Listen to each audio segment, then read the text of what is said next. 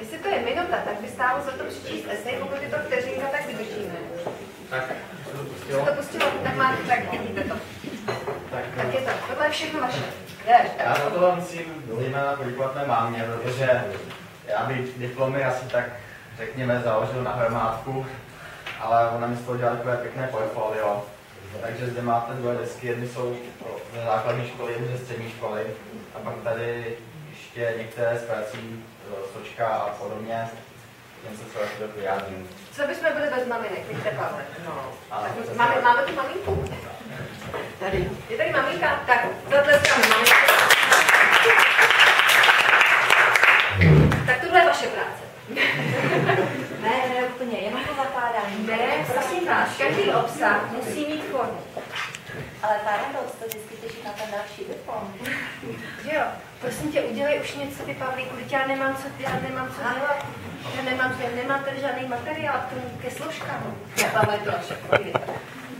Tak dobrý den, vážená komise, vážení přítomní. Jak jste ji slyšeli, jmenuji se Pavel Šafář a navštěvuji střední průmyslovou školu strojní a elektrotechnickou a vyšší odbornou školu v Liberci. Liberec, přesně ještě Liberec 1, Masarykova 3, abych byl přesný. tak a nyní bych vám zde rád řekl něco na téma, proč stojí za to být dobrým studentem, i když to předpokládám, že jste již slyšeli od kolegů, všechny to víte, ale opakování je matka moudrosti, tak já bych se rád krátce představil.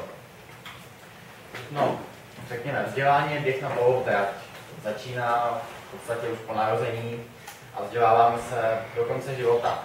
Ale takovým prvním a největším stupínkem, který si v tomto maratonu představíme, je základní škola.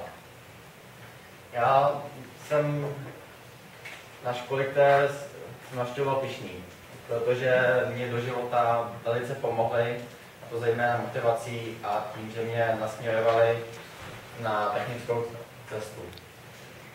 Co se týče základní školy, navštěvoval jsem základní školu Oblačná v Liberci, která má rozšířenou výuku informační techniky a musím říct, že jsem rád, že se mi zde podařilo založit takovou pěknou tradici, protože naše, naše škola několikrát v řadě vyhrála titul mistra České republiky soutěž programování, ale v kategorii kancelářské aplikace.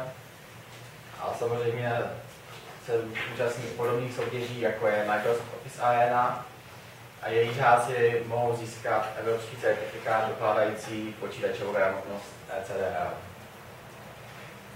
Tady máte pár fotek ze soutěže v Janských lázních. Něk- někteří se koupali na Kristýně, já jsem si udělal trošku jiný výlet, ale musím říct, že se mi celkem povedl. No a jak jsem tady zmiňoval, už na základce se mě zbudil zájem o techniku, takže jsem měl naštěstí relativně jednoduchý výběr střední školy. Vybral jsem si tady střední průmyslovou školu strojní a elektrotechnickou v Liberci. Je to, jestli se nepletu, nej- nejstarší fungující průmyslová škola v České republice. Nicméně stále se snaží držet krok s dobou. Máme zde moderní obory, jako je elektronika, informační technologie, technické liceum nebo strojírenství.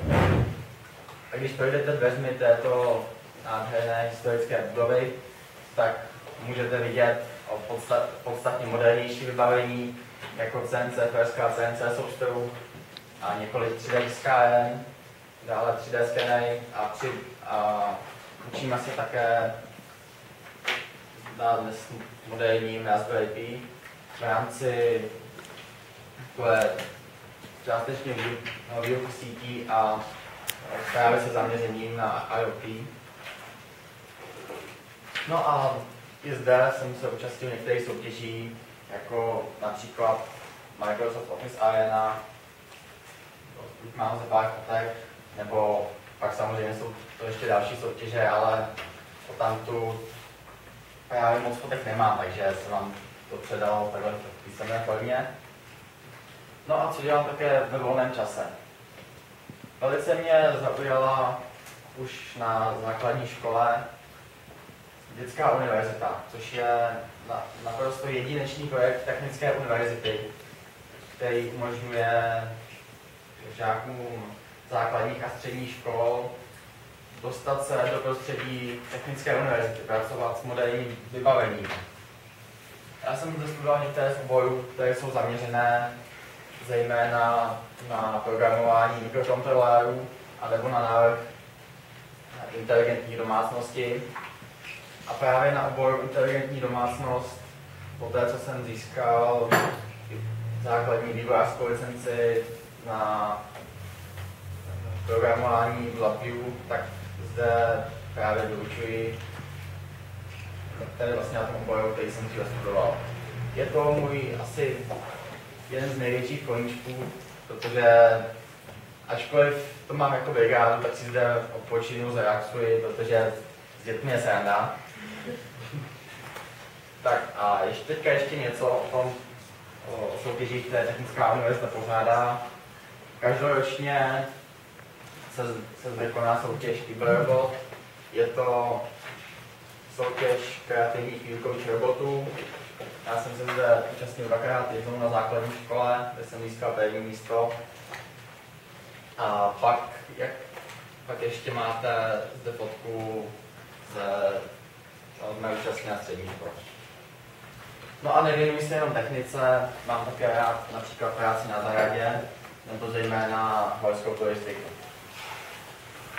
Teď bych vám již rád krátce předvedl něco z mé poslední práce na středoškolskou odbornou činnost, abych zde měl také nějakou praktickou ukázku. Co si pod tímhle dlouhým názvem představit? Bude to vlastně taková, eh, řekněme, eh, jednodušší termokamera, která je stavěna jako zabezpečovací zařízení. Mám tady takovou ukázku, jak probíhá vždycky vývoj nějakého výrobku. Nejdříve taková, já jsem říkal první verze, první verze. Moje přezdívka první byla pavučina, protože jak vidíte, hodně drátů. Tak a co bych vám zde ukázal, je práce, která již byla v národní kole středoškolské odborné činnosti. A tady máte ještě jeden snímek z prezentace, nebudu se zabývat technickými detaily, jenom abyste měli představu, co bude v té malé černé krabičce. A jak jsem říkal, tak teď se pokusím vám to krátce ukázat, že asi zde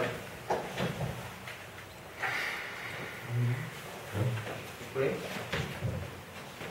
Uvidíme, jestli aspoň tato technika bude fungovat. Takže.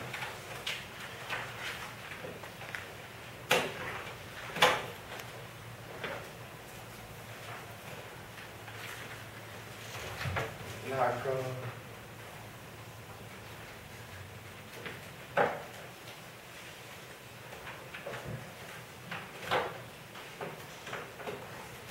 Ještě nám holčičkám připomeňte, co to teďka je.